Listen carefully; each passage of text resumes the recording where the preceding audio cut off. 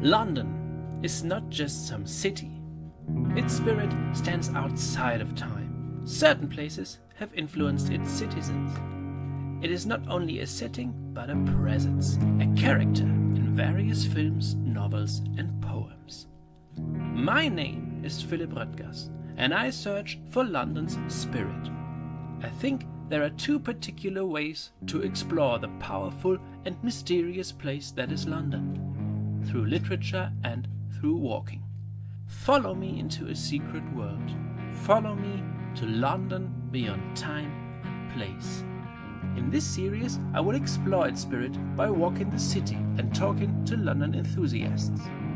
I invite you to join me. Together, we will discover London beyond time and place. This is Talks Beyond Time and Place.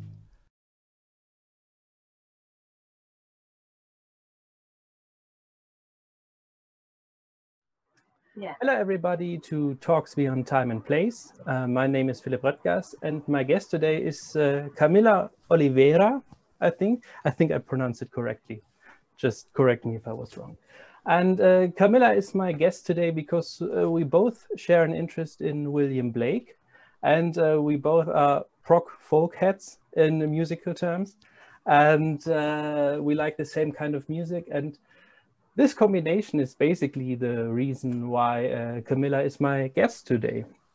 And uh, Camila is a Blake researcher from Brazil, and uh, she's specialized in Blake and music. And uh, in her PhD thesis, she discusses Blake's reception in the 20th and 21st century in popular music.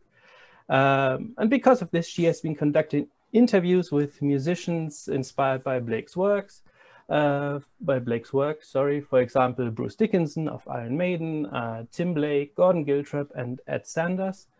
And uh, she's also a translator.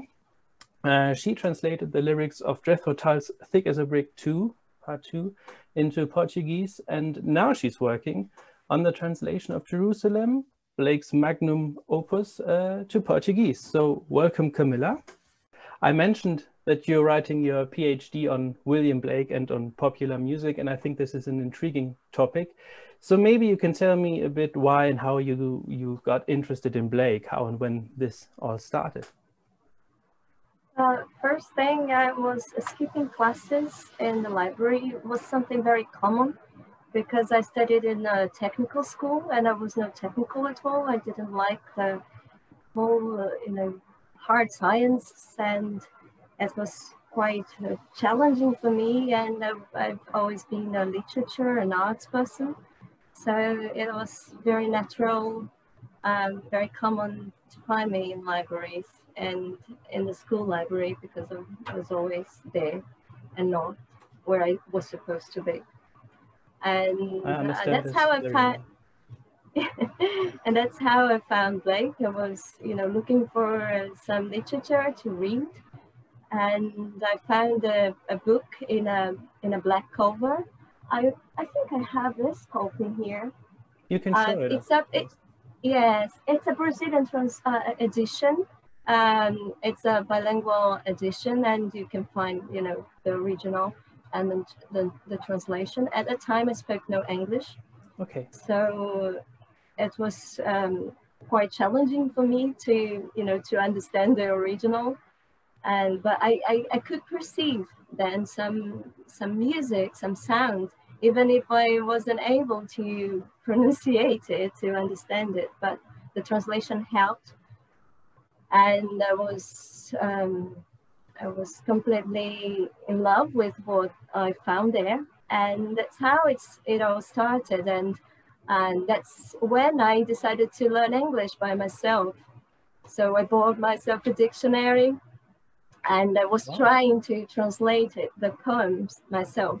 Of course, it was, you know, the translation was awful, but that, that's how it started. And I, I, I left my hometown to go to São Paulo to study with uh, some Blake specialists there. And, you know, that's, that's the story. That's the beginning of the story. And since my undergraduate and, and postgraduate, I focused uh, on, on Blake in the beginning, it had uh, more um, mystical approach, so to speak. So I wanted to to read him through that sort of mystic mystical key. Mm. But afterwards, I ended up focusing on music, especially because it's also one of my greatest passions. I'm, I'm, I'm a, you know, I'm a prog head, I'm a folk rock head. So uh, I decided to combine two of my passions, and that's how I ended up uh, writing, um, you know, my master's and my PhD on on Blake on and music. I think this is a, a wonderful, uh, wonderful combination, and um, yeah, I like the I like the idea uh, very much. So so how and, and when exactly did you did you say this is going to be my PhD? Was there some some key moment where you said I'm going to write a PhD about this combination Blake and music? Well, to tell the truth, I maybe there was something, but I, I, I can't really remember something specifically, but what I can tell you is that I could see not I was able to to perceive somehow that in rock music some of the things that Blake said in his poetry in his literature resonated uh, uh, with uh, the, music I listened to so uh, it was a very um, powerful combination and I I could see that uh, it wasn't an accident that I Yes. I like that so that kind of music and I like Blake and that's when I started my investigation to see you know if they if if musicians have set Blake to music and I found plenty of them and I was really amazed I was shocked by by the number of, of, of compositions, of settings, uh, some direct, uh, um, directly inspired by Blake, some more indirectly, but he's always there. I think his values, I think his, um, his theories, Yes. if we can call them theories, they, they, you know, they're all there. Yes, yes, I agree. I was also astonished when I did a bit of, of research for our talk. I looked at so so who exactly incorporated his his ideas and, and in, into music or who was influenced by Blake. And I was really surprised. I mean, I, I know a lot of artists and, and musicians who are influenced by him, but I was surprised at the at the the number of musicians that I didn't know about and that I do listen to. And it's the same with me. I thought, yeah, it's, it's these ideas. This is why I like this kind of music, and this is why I like Blake and, and his his poetry, his ideas, his engravings. It, it fits together, and it's nice. It's it's it's a good combination. Yes. For example, for example, I, I, I've read somewhere that you published a book on Genesis. Am I Oh, yes. correct? That's, that's Yes. true. But yes, just to you know to give you uh, an example of, of this sort of um, presence of Blake in music in in Suppers Ready, there, there is some reference to to Jerusalem and Dido's Yes. feet in ancient times. So you know everywhere you look, you can find something for. Uh, um, um, for example, the poet and the painter casting shadows on the water, thick as a brick one. So Mhm. you know the poet and the painter. Yes. I think I think it's a reference to Blake. Though you, you can't find many uh, people who are poet and painter That's at true. once, and That's I think it's it's it's Blake's very case. And You could ask Ian Yes. Anderson if it if it is uh, a reference to Blake. yes, I will. I will. I heard that it- he's not he's not that that passionate about Blake, Okay. but uh, some others some others are openly uh, openly passionate about Blake. And I've, uh, there is a very interesting book I want to show you. Yes.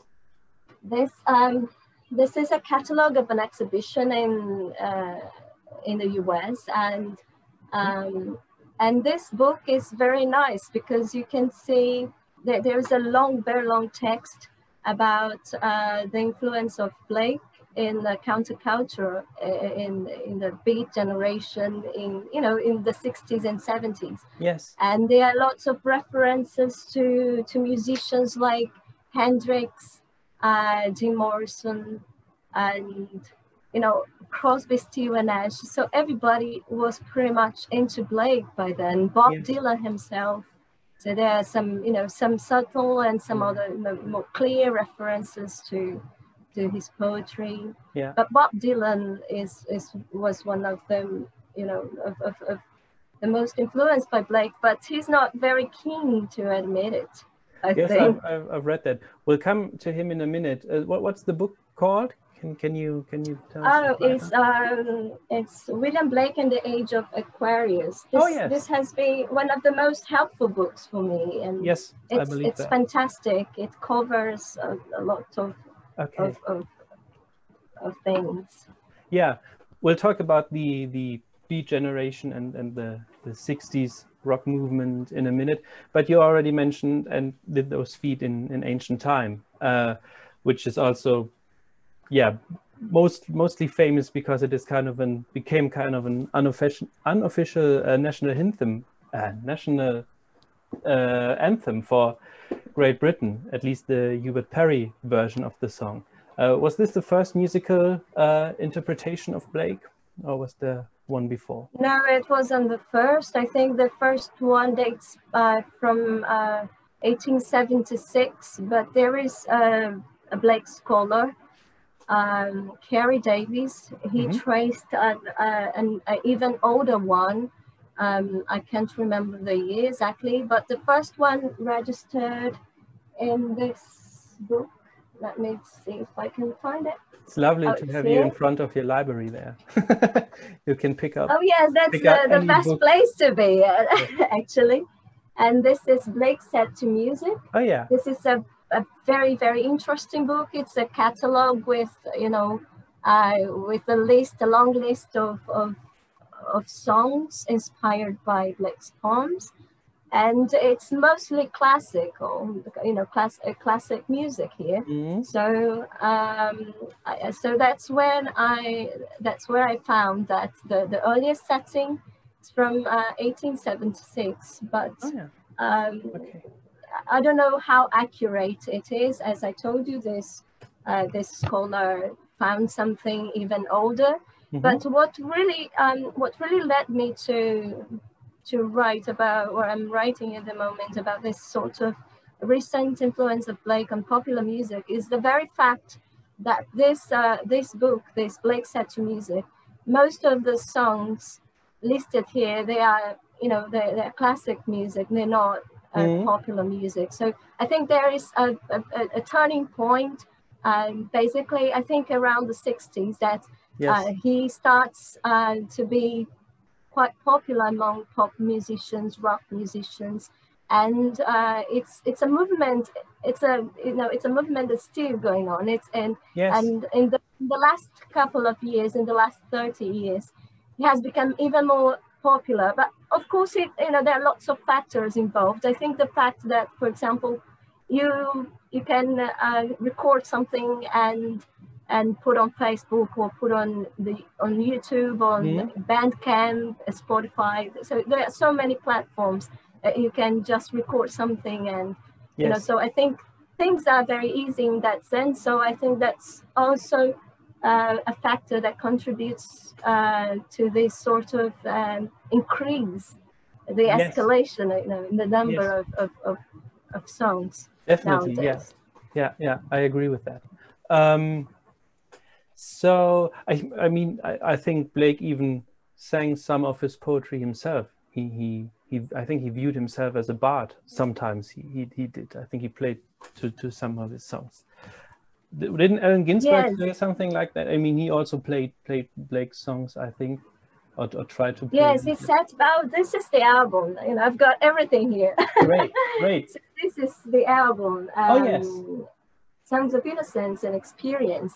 I I I read somewhere that he set all of them, but here you, you know you, can't find all the 54. I think Okay. is it 54? But uh, so but, but I heard that he set all, all of them uh, later on. So yes, this is the album. And I also uh, I, I also read that Bob Dylan played with him a couple of, of, of songs. He didn't record them, but I think you know they Okay. eventually played together. Yes, I've, I, I read that too. Um, that they that they did two songs together, and I th I think um, Bob Dylan he, he also did, did a song later in in the 80s uh, called Every Grain of Sand, which is also a, a reference to Blake, I think. But uh, yes, yeah, Visions of Johanna. Yes, also. yeah, The, and yeah, and, and the, the, the most recent, the most recent song. I don't know if you're familiar with. I contain multitudes. There Mhm. is a, a reference to Blake. Blake is mentioned in in the lyrics too. Oh, yeah. And there is another one uh, from the album Tempest. Uh, yes, if I'm correct. mhm. I uh, roll on John. That Yes. he that he quotes uh, "Tiger, Tiger, burning bright" or something. Yes, So you're right. Not not the whole poem, but uh, a couple of lines. just the yeah yeah you're right now as you say it i yeah yeah I've, I've i've listened to the album quite a lot when it came out and i remember now as you say it yeah so what do you think someone like like bob dylan or the whole folk rock movement could identify with with someone like like william blake and his ideas Well, in folk music, I think that because Blake Blake's poetry, especially his lyrical poetry, it, it embodies the the the balladry, you know, this this sort of atmosphere. Because Songs of Innocence and Experience, uh, the poems are very idyllic, but at the same time they're also very critical. And you know, we the '60s is uh, when you have protest songs, so Mm. I think he combined those two forces um, beautifully, and it's, I think that's probably why he um, he captured this uh, this you know this genre, this segment. I think so too. Yeah, yeah. I- I mean, Blake was against. Yeah, it's it's basically the same ideas. He was against monarchy, and and he liked the spirit of the French Revolution. And when he lived in Soho, the the Gordon riots took place in London, and he witnessed them. He was against industrialization and and uh, against social injustices, which can all be Yes, and yes, and one of the one of the lines of, of, of you know that I'm trying to to build in my in the thesis is uh, it's uh, I'm trying to associate Blake's reception, literary reception, uh, to this mu- to his musical reception because, Yes. uh, for example, that's around that time that we have books like these, like uh, Blake's Prophet Against Empire by David Erdman's, two very up to date and Jacobs, Bronowski, um, A Man Without a Mask, and we Mhm. also have this one, William Blake and the Age of Revolution. So one yes. of my, you know, one of my theories is that the publication of all these books in the 50s, um, mid, uh, late 40s, mid 50s, I think in a way uh, it had some influence on this sort of uh, new perspective of Blake because we had just the mystic poets, the, the, definitely. the yeah. you know the the, the, the visionary the, and the mystic poet, and then um, some you know some scholars come up with the idea that wow he's not only this he's also that he's, He's also, also- a re- revolutionary so i think that this this combination of the mystic and the re- revolutionary is very powerful in that time in that particular time so Definitely. i think that's uh, that's basically what made him so appealing Yeah, yes, I agree. I agree uh, very much with that. It's it's all the i- ideas and uh, so was was the, the the beat poets were the beat poets of the 1940s and 50s were they they uh, the the the main reason or were they the ones that introduced Blake to to to later generations like Bob Dylan and the 60s rock mu- movement? Yes, William Burroughs, I think, was the, the was the one who introduced uh, Blake to to Allen Ginsberg and Jack Kerouac and the likes, because I think he was uh, a bit older than them, and he Mhm. studied in Harvard, if I'm not mistaken, and he had access to Blake in in the university. So the, I think the, the, there is this sort of closeness. I, that's one thing I'm trying to to think in, in, in my thesis is that this sort of the, this Blake scholarship and Blake um, reception in you know in the beat generation is pretty much connected um, to the academy because uh, those guys, though you know this. Uh, the the beginners of, of these movements, they, they, they, you know, they studied in university. So I think the, as um, the acceptance of Blake universities. And, you know, when he started being studied more seriously in universities, I think it affected his music reception. And I think that, that the figure of William Burroughs represents this sort of uh, the, the two the, the, the, two atmospheres, the two um, you know these two worlds. Yes, yes, yes, I think so too. So um, so we we have the the the radical ideas of, of Blake uh, as we just mentioned, and and they they fit perfectly to the to to the ideas and the movements of the of the 1960s. And and then there was, uh, for example, the the band The Doors, and and they exactly. they are named after uh, after the Doors of, of Perception, after Aldous Huxley's book, uh, The Doors of Perception, uh, which itself derived from Blake's from a line of, of Blake's The Marriage of, of uh, Heaven and Hell. So, uh, yeah. and, and they have, um, I think they have three lines of Auguries of Innocence in, in, End of the Night, which I, when I found this out, I thought, oh, this is, I've listened to the first Doors record for decades, basically. No, not that, but for years now. And and I, I never noticed until I read it, and I thought, oh, this this fits perfectly. So, uh, someone like Jim. There is another one, and there's another one. I think you uh, lost girl or something like this yes, because I think it's a reference to little girl lost. Right. Yes. Your lost little girl. Um, Your lost little girl. Yeah. So someone like like Jim Morrison, um, they, I think there there also comes the the more there's the radical side of Blake and then the spiritual spiritual side of Blake comes comes into play there because I think someone like what what do you think? Why could someone like Jim Morrison, for example, when he wrote his lyrics, identify with with Blake and his ideas? Well, um, again, this book, this book is is absolutely fantastic. You you find things here that you won't find anywhere else. And there is an interview with um, with one of his teachers in uh, UCLA, if mm. I'm not mistaken, and he enrolled in uh, romantic studies discipline. And his, as his final essay, he he wrote about um, Swedenborg oh, yeah. and and the marriage of heaven and hell. So um, one thing that I find very interesting, and uh, I, I think I'm I, I'm compro- you know I'm, I'm I'm I'm seeing that in the in the interviews is that most of, of, of those guys who are very much into Blake, there's no such a thing as you know a superficial mm. um, view of Blake or this sort of very um, uh, of, of, you know of, of, of these um, of this very vague idea of Blake. They, they they they read about Blake. They read biographies and they read even like academic papers and books like the ones I, I showed.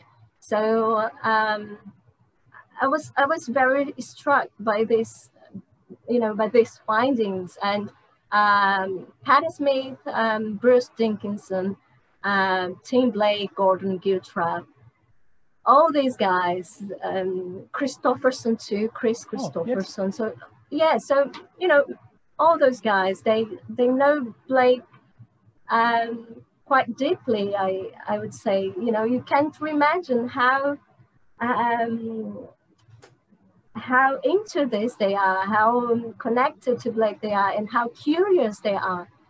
And that's what I really found um, fascinating because when you think of a rock star, you don't think of someone who uh, who would pick up a book on uh, you know on theory, on literature theory, and knows um, yes. yeah. With uh, with a bit more of detail about his involvement in, in his times, and you know very um, detailed analysis of poetry and things like that. And you know, they, they, are, they are scholars. They're not only rock musicians, they're scholars too, in a way. And I think this is the very case of, of, of Jim Morrison because um, he, he even wrote an essay. And I, I would love to read the essay, by the way, but there, you know, it's not there in the book. But there is this interview, and I think that, um, I think again that Jim Morrison, for example, he was um, maybe he was more interested, he's, he, he, he was more inclined to embrace the mystic Blake but I think you know because rock is a, it's um, it's countercultural. So rock is uh, it's uh, it's a form of uh, you know it's a form of protest too against right. You know this sort of um, the, the systems and society how it goes and uh, and I think that it's a combination. I think what varies is the percentage, you know, is the proportion of of each. But Yes. maybe I think that uh, that uh, Jim Morrison was more more of the mystic side of Blake. I think so too. But for for Blake, I mean the the, the mystical or the spiritual and, and the radical, they they belong together for him.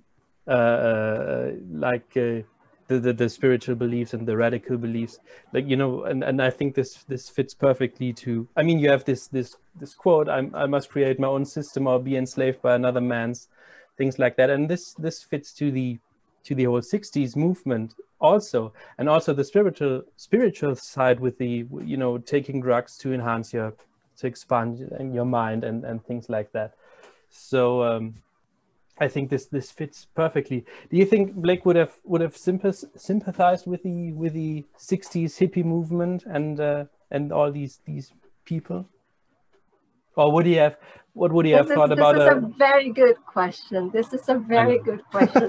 it's so good that I need to stop and think because I'm, I never really give much thought you should, to you that. should include it you should include it in your your phd thesis yes, it's it's a very good question.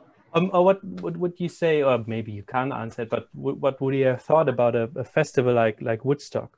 Would you have liked that? I mean, he he, he was against political repression, and, and his his garden in in Hercules Road in Lambeth, he sat there. He called it Garden of Eden, and he sat there with his wife naked. So I always wonder Yeah. if he would have liked this. yeah, yeah, you're absolutely right. I just ca I just don't see him very much into this sort of crowded thing and and Either, you know these uh, multitudes and uh, packed places and you know the, because uh, you know the story of Woodstock and how uh, how crowded it was. I I don't think he would enjoy the the crowded side of it, but the, all the rest I think he would he would approve a lot. Yes. You know, I think he would approve it. Uh, but I think in terms in terms of music, you know, like oh, I like this setting, I don't like this one. I think because there are uh, some biographic um, uh, accounts about uh, his preference, uh, musical preferences, and he seemed to be very um, keen to, um, very fond of uh, folk music, like traditional Mhm. traditional ballads, Scottish, Irish ballads.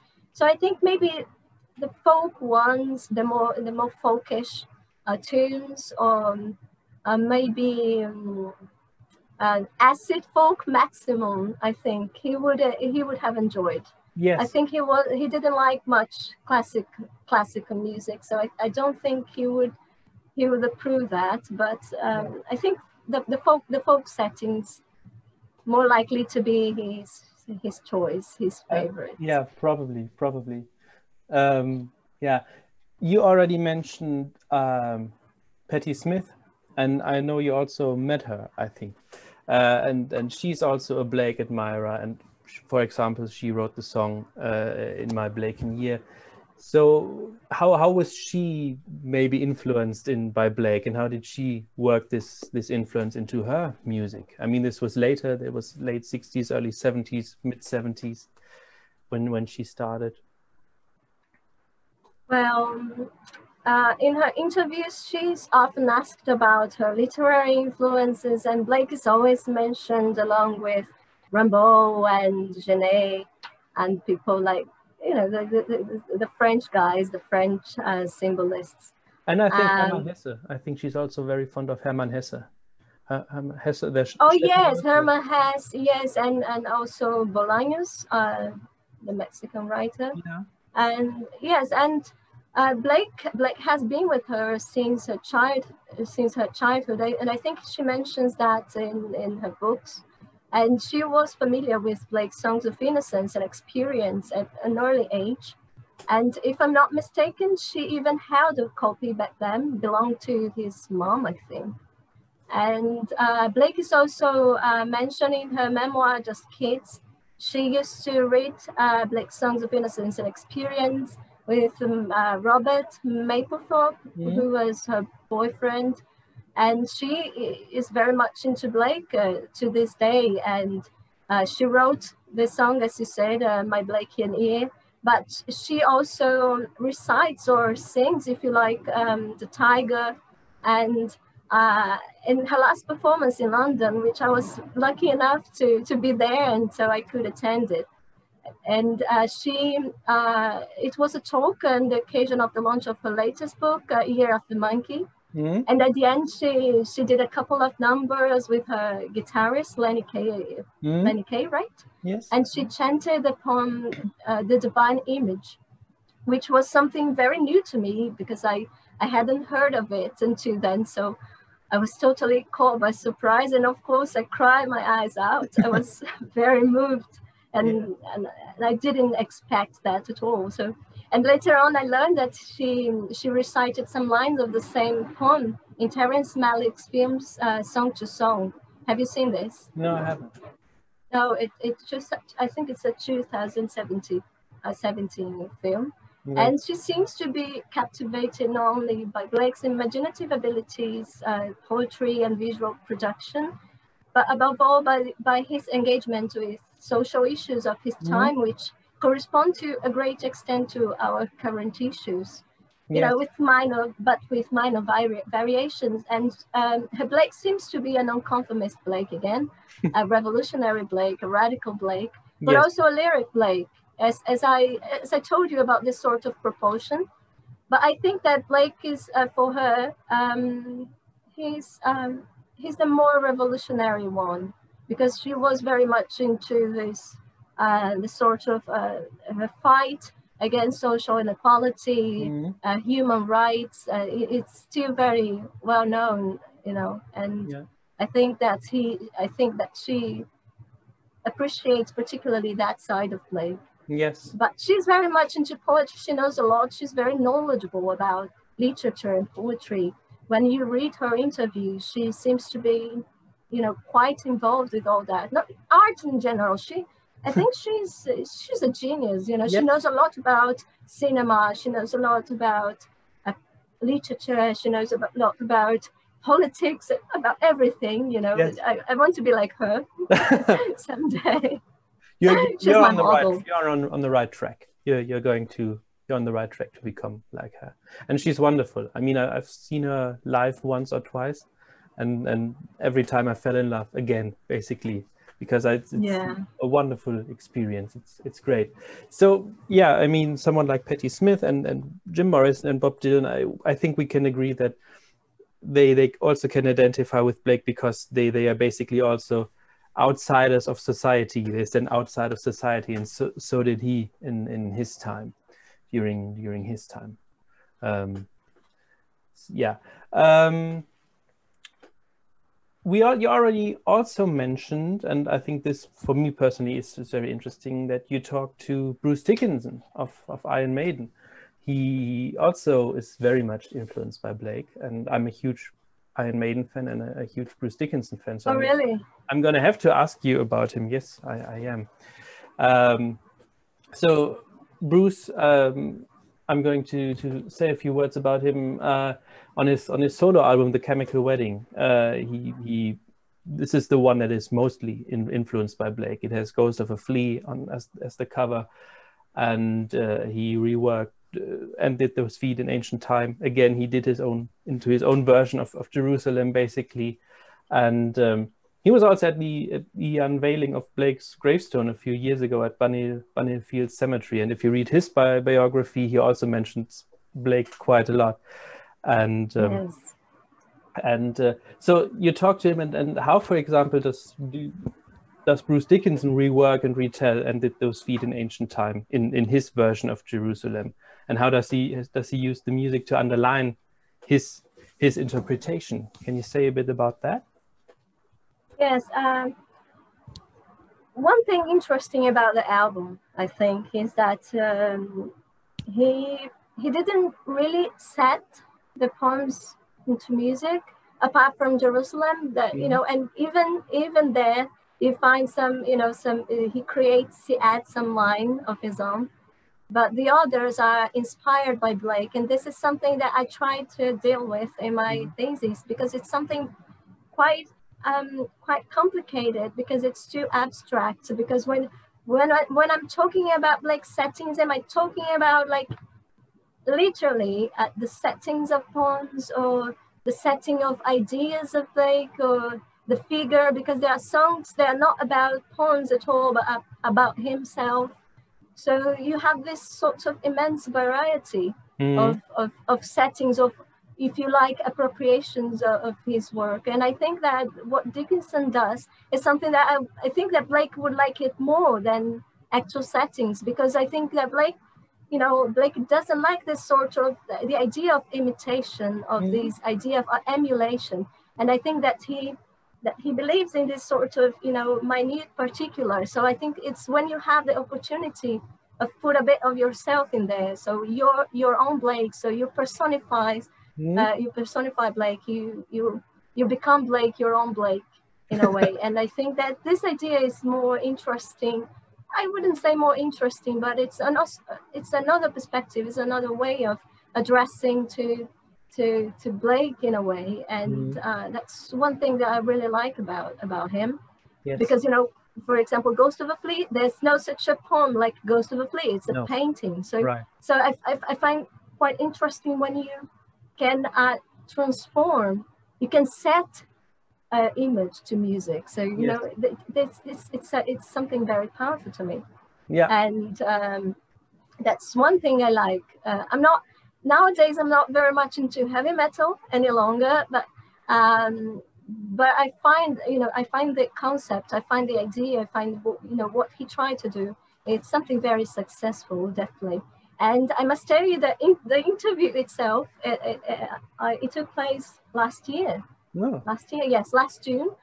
And the interview could have been a great fiasco if it weren't for Bruce, because it took me a month to prepare a meticulous questionnaire full of references to his career, to previous interviews in magazines, to uh, you know books, yeah. um, his own biography. I read it, you know, I read the whole biography you know, in try, trying to create, trying to elaborate more, you know, some sort of sophisticated, sophisticated questions yes, yes. to impress. I don't know, but I, I forgot to that. save the, and I, I forgot to save the questionnaire on my tablet. Ooh. I took with me, and I found out eh, in the interview, the file wasn't there.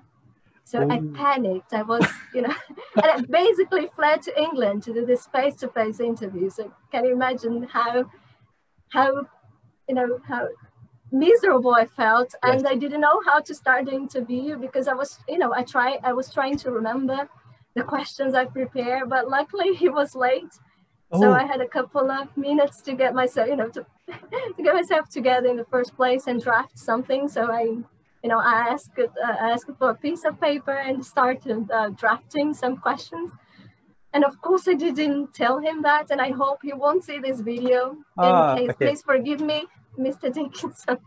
Oh, okay. I, I, I'm pretty sure he will forgive you if he if he ever sees this. yes, but it, it, it ended up being something like a stream of consciousness because I, I just let him, you know, speak his mind. So I, I let him very freely, and I think that it became something very, very surprising, something very mm -hmm. rich and yeah. I felt that he was so passionate about like that. I just let himself go and say whatever he wanted to say with minimal interference. And actually, the result was more in interesting than I expected in a way.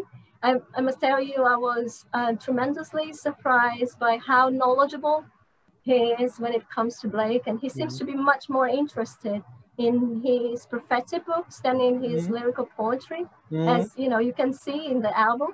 Mm. And uh, he he's um, particularly interested in the amb ambiguity and the, the, complexity of figures like Los and Albion, Jerusalem, um, Tell, the Zoas. Yes. Yes, and you can find all those figures in his prophetic books, right? Yes. And uh, he, he opened the conversation. That's something very interesting. And discussing the presence of Blake in a film by Lars von Trier, uh, the house that Jack built that he had just seen um, the day before. Mhm. And he starts to relate the main character to Los, one of Blake's most important important figures. And indeed, the, fu- the film is full of uh, direct ref- references to Blake. And after that, he spoke of Blake's importance to him um, in a personal level. He didn't seem in much, in, uh, you know, very interested in, in talk about, you know, the so- song, song by song thing, explaining things. And I wasn't interested either because, uh, you know, the conversation was going to a very, very interesting direction. And I, I liked that because it became quite philosophical Yeah, and yeah. I, I, I felt that he was more interested in talking about his own Blake, about how he perceived Blake's system and how um, how it affected him along the years. So it ended up being a much more, as I said, like a much more philosophical conversation than an interview about an album. And he mentioned books. He mentioned Peter Ackroyd's biography of Blake, you're probably familiar with oh, yeah. and, it's you know, and you could take him easily for a Blake scholar because he knows an awful lot. And but at the same time, he wasn't academic at all because he was too much.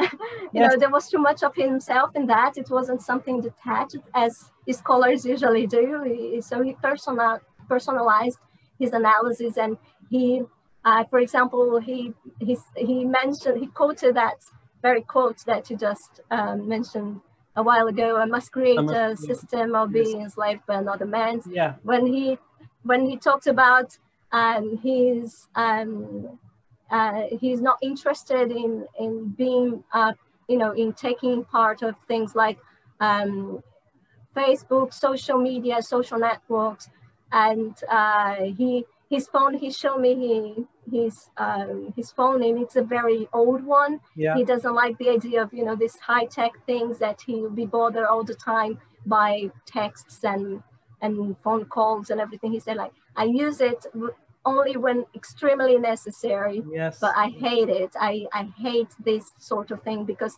this is now the what what enslaves men so this is the system that enslaves men nowadays and i found it quite you know so He's so right. profound in a way and He's and right. I'm, I'm and I was impressed that he, being that you know this superstar, this super famous guy, tries to be as detached from this this sort of of, of, of digital uh, world the best he can. And I think he mentions uh, he mentioned he mentions that in the in the uh, you know in that the, the day in the Old Street Cemetery. yeah, He mhm. I think he mentioned something like this yes, he also. I, I think so too. Yeah, I think this is. Uh, I when, when I hear something like that, I always feel a bit bad because you feel like I'm too much in it.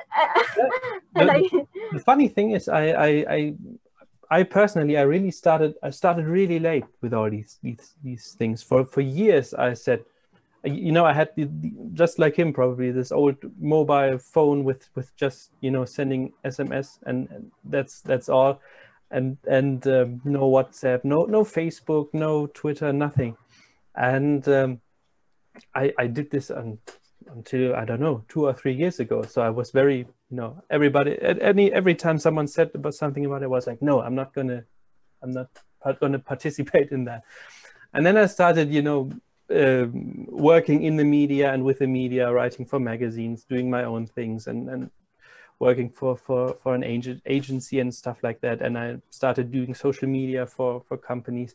So I thought if if you want to be, it's it's a bit of a two-sided thing. If you want to be part of, or, or if you you work with the media, you have to be kind of part of it and then you maybe you can use it the the best way possible for for yourself you you don't have to do everything you know but you can do it the the way that that suits you but i oh sometimes i think it's, a ma- it's a matter of balance in the end, isn't it?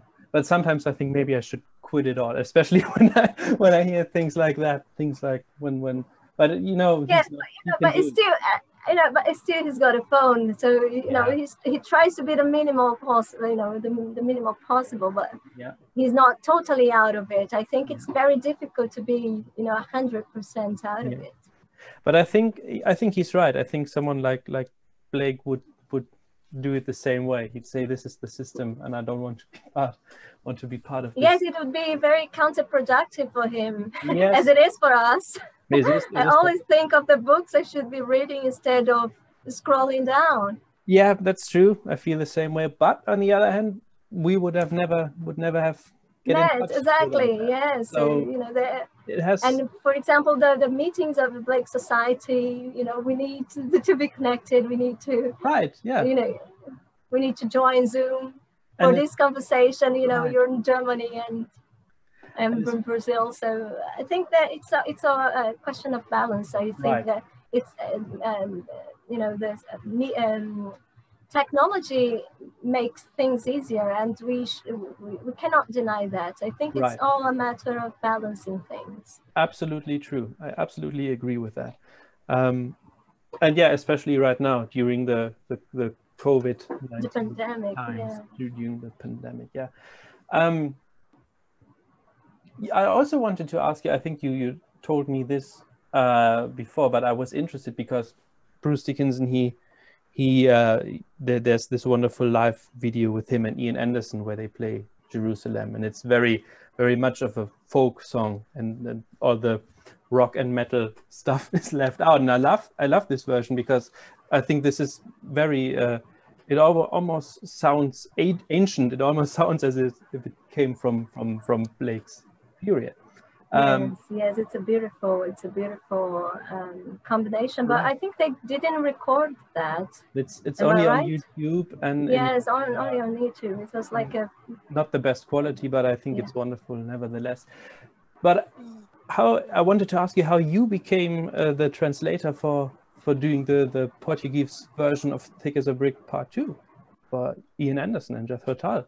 Wow, it's an it's a very crazy story because I was um, I was backpacking. I was um, in in, uh, in in Ireland, and you know after after a very uh, complicated breakup, I decided to travel abroad and Good choice, yeah. so, yes to, to find some time for myself and of course it was i tried to do it in a strategic way so i tried to to combine the trip to some concerts i would like to see and some of them i would never see in brazil Mhm. and uh, ian anderson um, and Jethro Tull, they they play in brazil quite regularly Mhm. but I wasn't sure because I I heard of uh, Martin Barre Mm. leaving the band, so I was I, I wasn't sure if I would see Thick as a Brick tour in Brazil.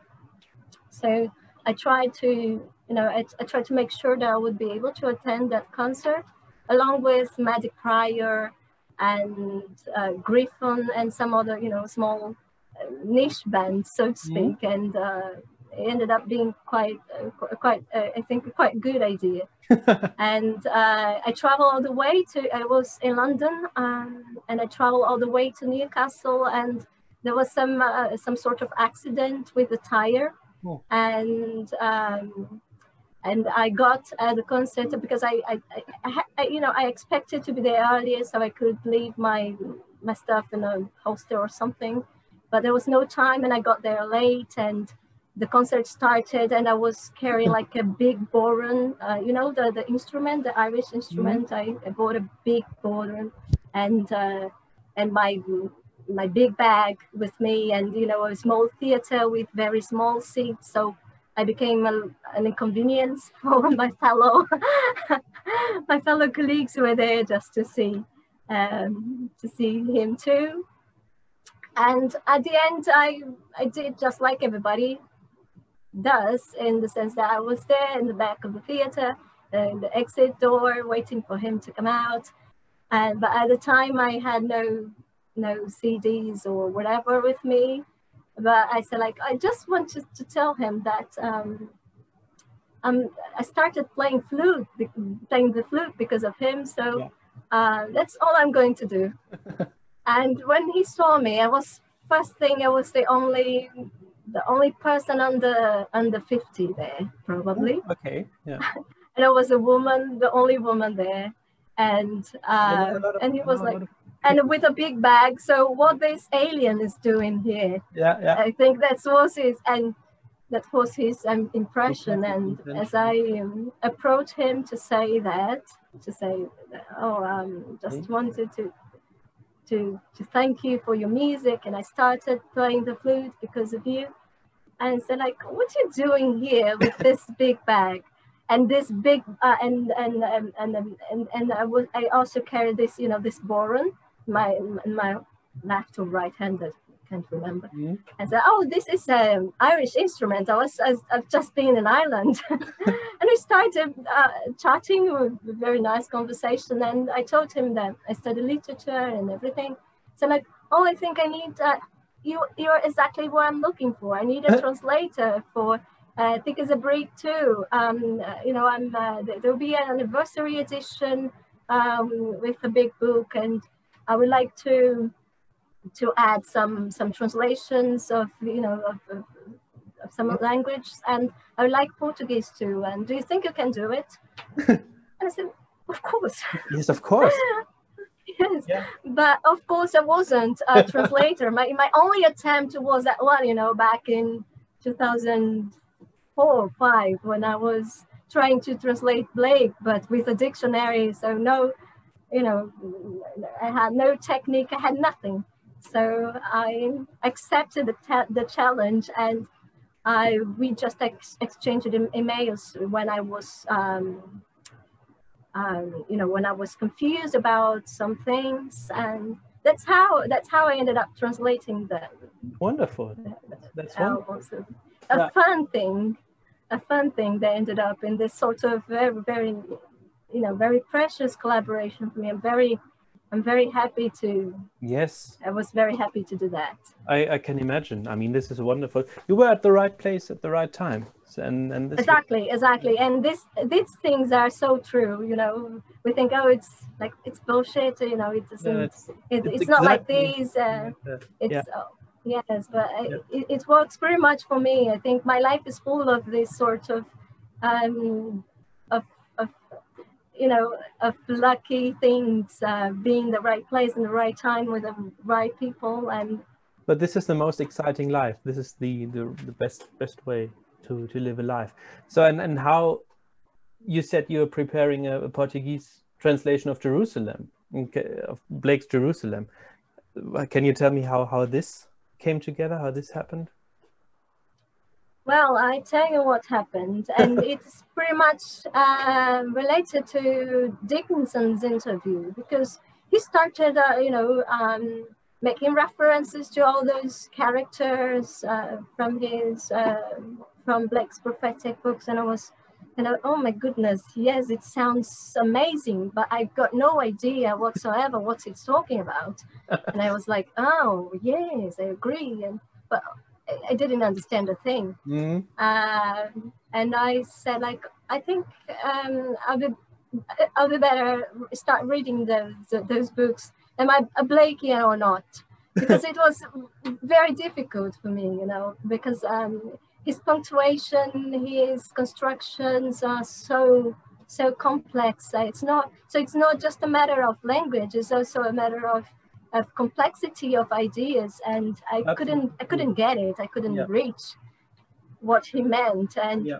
I think it's I even... think that translating it translating it could be a you know the perfect opportunity because you know you you need to to read a line a thousand times to translate it you know to get the idea and um, to you know to translate it with some accuracy so um, it ended up, uh, it, it, started as um, a hobby or like um, um in my spare time, my free time, I, uh, I'll do this. But I became completely obsessed with the text, and I started uh, with the last book. So you see um, the same characters, you see like the beginning of the story um, in previous books. So it, it, it became even more difficult for me to translate it because I had no access yeah. to the other text. So I wasn't that familiar with the previous text. So it was just crazy for me to start, you know, like the other way around. So start from the end, not start from the beginning.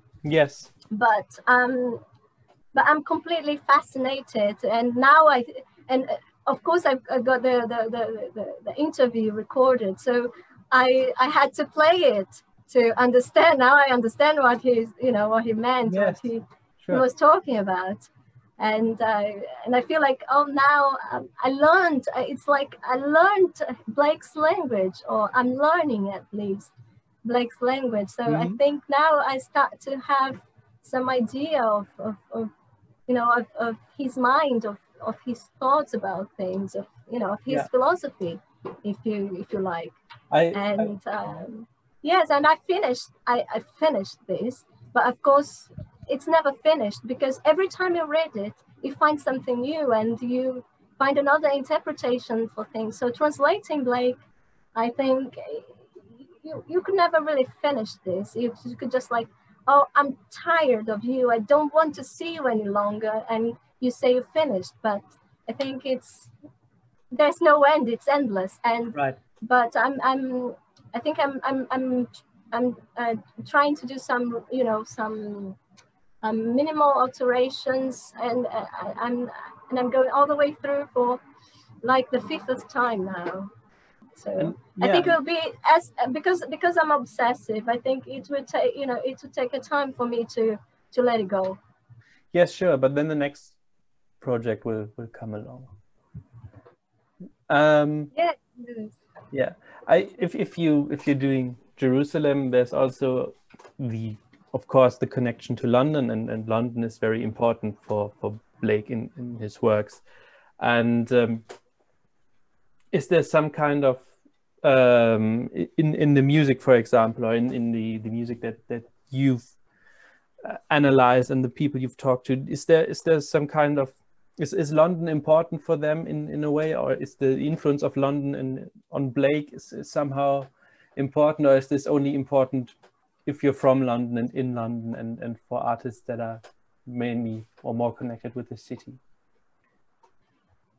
Well, I think I think that um, most people really are concerned with the importance of London to Blake are probably Londoners or English Mm, people uh, or English artists. I would say. I think it's the case of Dickinson, for example, because he he finds the you know England geography and England's history quite important for him to understand Blake. yeah Um, but again, as I told you, um, I, I think that most art, mo- mo- most of artists they try to find their own Blake. So you Mhm. have like Brazilian versions of Blake, you know, Brazilian settings of Blake, and nothing. London has got nothing to do with that Yeah. at all. I- So I, I think I think other things are more important than uh, you know London, particularly than geography where it happened. And I think I, I- and I think that it's pretty much um, the idea of universal literature, uh, you know, of the of the universal writers. And I think that's the case of Blake. Of course, London uh, in a great deal because when you see Jerusalem, because he kind of um, he creates a city over another city when he, you know the, the, the walls, the pillars of gold of Mhm. Jerusalem. So it's you know there is a spiritual a spiritual city and um, and a material city, and he connects them. So he Right. put them uh, in the same in the same area in the same geographic area. So it's something quite quite new. I I, I- I never heard of anything like that. What he did. right and i think that- Maybe just Dungeons and Dragons. maybe yes but i think this that this might be the connection i mean as you say this there's everybody finds his own blake and and reworks his own blake but i think this may be the connection when when he sees london as a visionary city and or spiritual city and and the real city uh, this is this is one of his main topics and uh, ideas um the, the the things he imagined were were just as important to him as, as the real things and this is something Exactly. a- again, which could, could be said about maybe the, the 60s hippie movement or rock movement. The spiritual Yes, side the was idea, important yes, the ideal society. So the alternative societies, in a way, they are forms of Jerusalem, fine Yes. forms of, you know, of, of creating their own Jerusalem in Yeah. a way. Yeah, I, I always wonder, but this is just pure speculation. I always wonder what, what Blake would say about modern modern day London.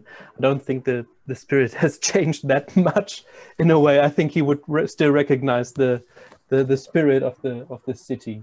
You know there's still the rich and the poor with, with you know bankers in the city of London, and then you've got the poor people sleeping sleeping on their on their doorsteps. Yes, And you're being- you're being another observed. form. You're, you're being observed by CCTV all over the city, which is still you know you're still oppressed in in a kind of way, and still, I think it hasn't changed that much, and. Uh, Yes, Okay. it's just like a, a modern, a modern London, but still the same, you know, the, the, the same old problems, but Right. with the new, with a new face. Right, the the spirit's still there. I think he would still recognize the the the, the, Yeah. the London of his day, and the spirit of, of his day. So uh, And one thing, Yeah. uh, yes, just one thing to to say uh, before you go on is uh, is that uh, one thing that I find uh, quite.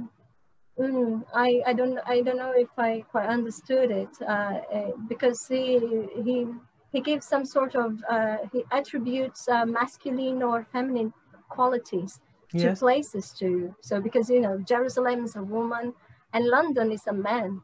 So when when he needs to use like an article to when he refers to London, it's not like it. It's not like a Mm. neutral. It's a he.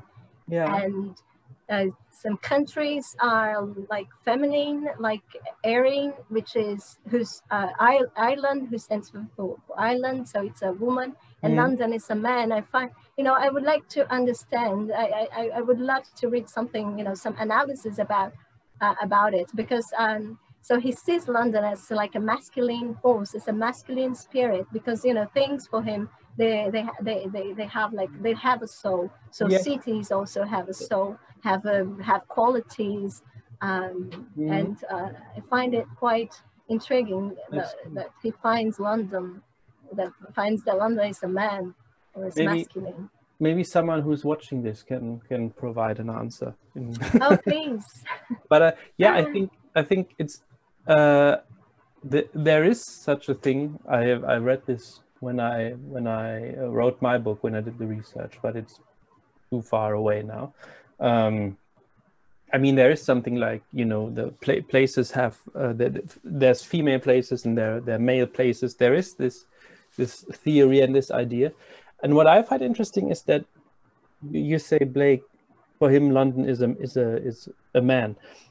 I, I think in most of the literature that I I read and in most of the ideas about London and whatever it Peter Ackroyd, Alan Moore, whoever it is, they all say that in, if if you analyze London that way, it's it's, it's a woman. That London is a woman, and I I personally I I can yes, for me too. That's what I was just about to say. London is a woman. I, I for me personally Yes, and and but the I think the Thames, it's Father Thames. The the river is, is that's the man, you know, and the, it's he's, he's the straight the straight thing that that runs through through through London. So it's Father Thames and maybe Mother London.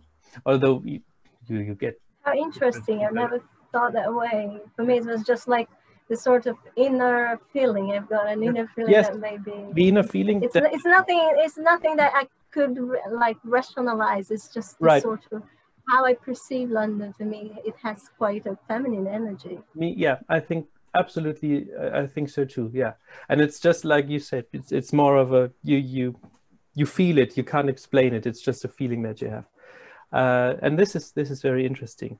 Um, but yeah yeah you you lived in london. You you said you lived in london for i think two periods of time two brief periods. Uh, is that right or am i wrong?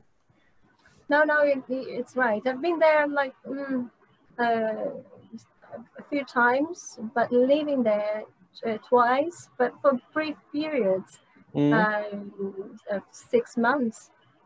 So it's not it's not much to be that familiar with with the city and. As, as soon as you start to get used to buses and you know how to move around, it's time to go back, and I find Mm. it so you know so frustrating for me personally you Yeah. know because for me the geography i, I feel that i'm I, I, I feel that i'm i'm in, i integrated i feel that you know i'm there yes. when i when i when i can when i don't need to think much you know i, I just can't find my way in Mhm. the city and and that, that's uh, that's the frustrating bit for me Yeah. when uh, you know and i started when i started to get used to it it was time to go back so Yeah, uh, um, I hope to be able to stay a bit longer. I think I, I, I don't know. Um, we talked about this briefly uh, because for me it's very complicated to feel like a foreigner, to feel like an intruder. Mm. So um, it's it's a very a strange feeling, and it starts with language itself because I'm, as you probably notice, I'm quite talkative, and I I feel this urge to communicate. Yes. And I think that everybody has a you know their own way of uh, of, of saying things, and I think this barrier of language when you have when when your repertoire is much more reduced, it's like I'm I'm in a cage in a way. So Mm. communication becomes uh, something painful to me instead of something that you know that Mm. frees me, something that made me feel like oh I can't say it the way I want to say it. So i- it's all about repetition. You learn some new expressions and you find them interesting and you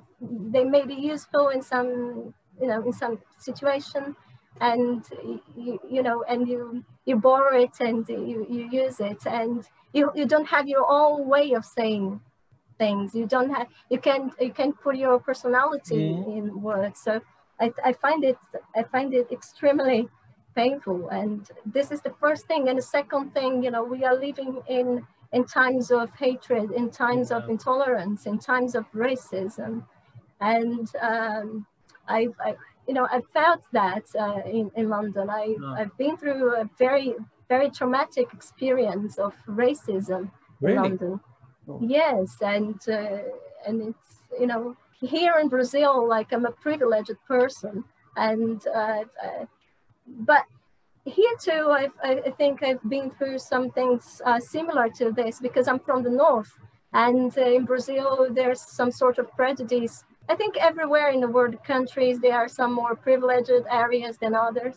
And Mm. my you know my hometown the area where i'm from it's a poor area. And in terms of education you you can find the best opportunities so i've i've in a way i'm also a foreigner here. But i Mhm. think that when you're abroad i think the the, the language thing makes things even more uh, painful Yes. so I don't know if I would be able to live abroad forever. For me, it's very, it's Yeah. very, uh, it's very important to feel at home. And I, although I love, I desperately love London. I love uh, so many things about London and um, music and everything. I don't, it, it- you know, I, and I have no, uh, no explanation for this because it's, it's not like oh, it's my, it's your parents' heritage. It's something that you know you learn to like.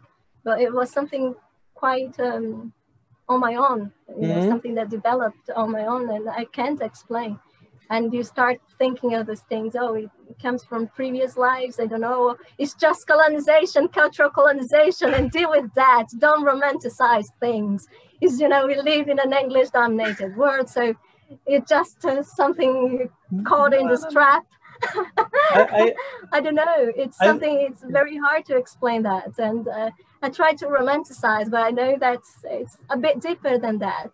You know, do too. why why do I know nothing about um, you know about um, Guatemala, and I do know a lot about about English culture. So it's not just something that I I was looking uh, for, but something that is brought to me. You know, this sort of the the, the capital capitalism and imperialism in culture as well.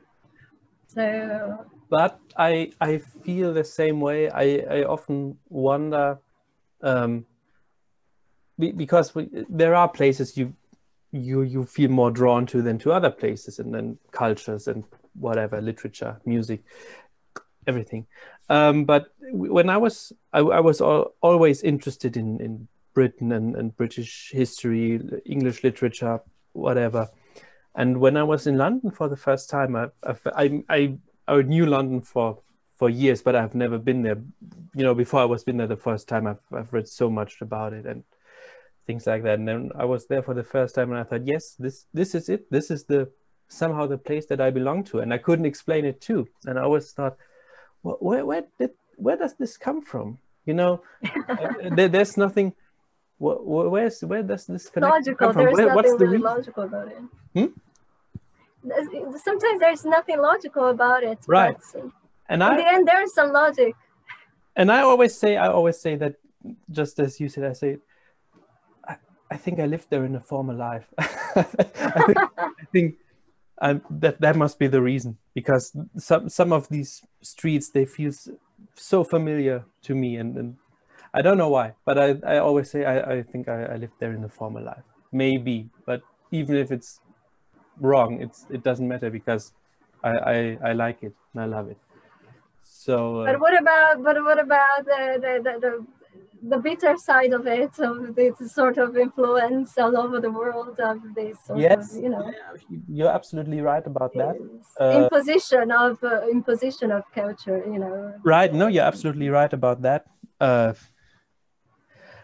I I don't know. I think it's it's it's there. There's But not. in, in in Germany, is it common that people are drawn to, you know, to like English culture and language and, and I don't know. We do have we do have. Uh, funnily enough, we're we're very keen for of on on British crime fiction and British crime TV series. They're all over German TV. Uh, I see. but I there, there's not that much of it. I mean, we're we're quite close to one country is quite close to to the other in, in terms of geography. Uh, maybe that's one of the reasons. I think yeah, I think that that Germany is and and Britain they they although they they don't really. I, it's hard, hard to Love each other. say that.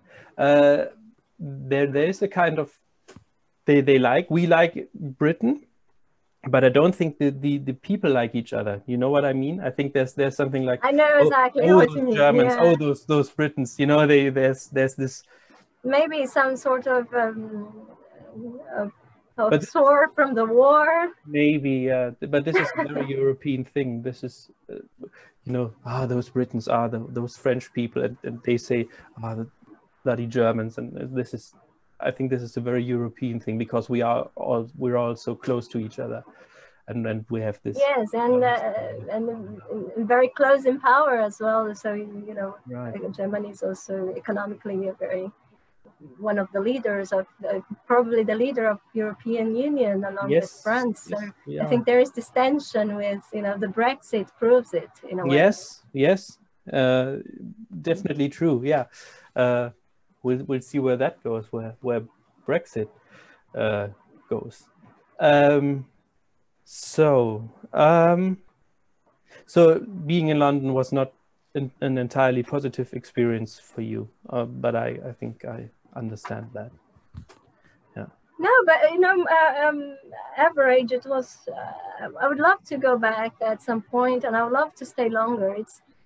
I, am just saying that it's not like. It's not just like oh. Um, it's not perfection. I think Mhm. that our idea is much more. Um, uh, it's much more interesting than the actual experience sometimes, Yeah, and I think that this this sort of rom, rom, uh, romanticization of, of, of, of Yeah. what, for, for example, for us who live in South America, what, what is it like living in Europe? And I think there are lots of uh, misconceptions, there are lots of, of uh, expectations that don't correspond to reality, especially, you know, you're, you're like a second sort of citizen in a way. And Mm, um, second class citizen and uh, it's it's very complicated and that's why for me it's something it's something I, I don't I don't really like and uh, Yeah. you're all, you, and you, you're always dealing with that somehow Yeah. you know it's something very subtle it's not something that it's you know it's very clear but if you if you're a bit like sensitive and you can you can you can feel it yes, yes. You do you have a favorite place in London when when you were there? Is there something like a favorite place? Oh, definitely, definitely. Uh, I think Strand area is my my favorite place um, because I I've studied in at King's College, so in this in the central campus, Virginia Woolf's buildings, and the other name, the other building I Mhm. forgot the name, but I was always around the area, Chancery Lane, Mm, and near Bond, you know, Bond Street Station, and Yeah. I love the area, and you know, the, the the buildings and um, courts of justice.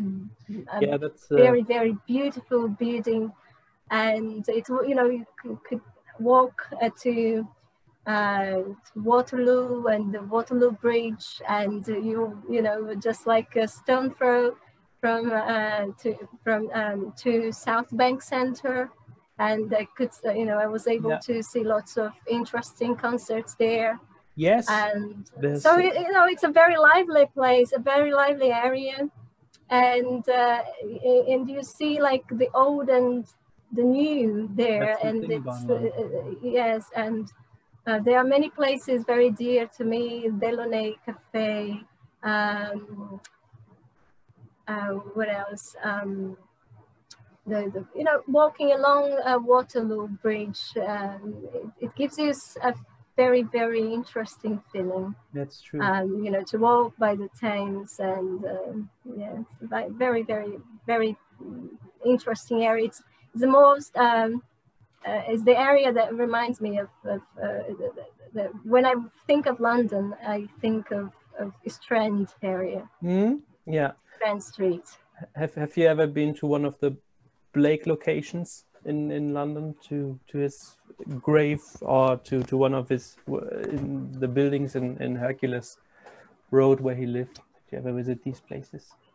Yes, yes, definitely uh, Fountain Court, uh, Hercules buildings. Uh, I think all, all of the places he lived, I, I think I've been all of them. Yeah. And I had the, you know, the fabulous opportunity of uh, his, um, on his birthday last year, there was um, um, a meeting, a reunion in the Blake Society in, in his house in South Molton Street. Oh, yeah. And I had the opportunity of go upstairs, so I was there when this he lived, and and I think that it was one of the most remarkable experiences for me. And yeah, um, I understand. So, and uh, Jimi Hendrix lived like a, a few a few meters away from from his house. He lived in the same house that Handel lived. Right. I yeah, I love these. Familiar with that?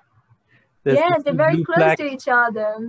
yes, and the, in this book, I'm uh, you know this this pink book there's um, the author um, writes about uh, some songs, um, Wind Cries Mary, Voodoo yeah. Child, that um, there are references uh, to, to Blake and probably uh, the fact that they lived close to each other, that, of course in different times, but he probably passed through, you know, his door and he saw his name or something and that might maybe it was maybe the place yes. the place uh, influenced both of them. Maybe that's again the thing about places that influence the people that live there. Maybe yes. Uh, yeah. So um, yes. Thank you very much Camila. We've come to the end. Uh, no more questions and we've talked quite a long time. Um, Oh yes. I think sorry was... about I talk too much. No, it was, it was fine. It was very, very, very nice, and and uh, I really liked that. Um, I wish you all the best with your PhD, and I hope Thank that you very much. I hope that we can read it someday. Let me know. Let us know when it's yes um, yes it's it's it's being written in portuguese but you know let, let us see how things go but uh, yeah I, I, because people write uh, people write you know the, the theses long long they take a long time writing theses that nobody reads so I, I i'm really trying to do something that um, can you know can be read uh, later on i don't know but i think that's something that i will because for me it's not just you know it's not for it's not for a title it's not for you know to be called like a phd a doctor um, no. you know i'm not interested in any of that. For me it's just like to to produce something out of my passion because I, I think it's completely moved by passion. Right yeah. yeah you you should you should do something with it when it's when it's done you know i don't know publish it in a way. Um, yes. hope hope yeah, yeah. so uh, yeah. Thank you very much Camila for for being my guest for for taking your time. I'm very honored. I'm very honored. Thank yes. you very much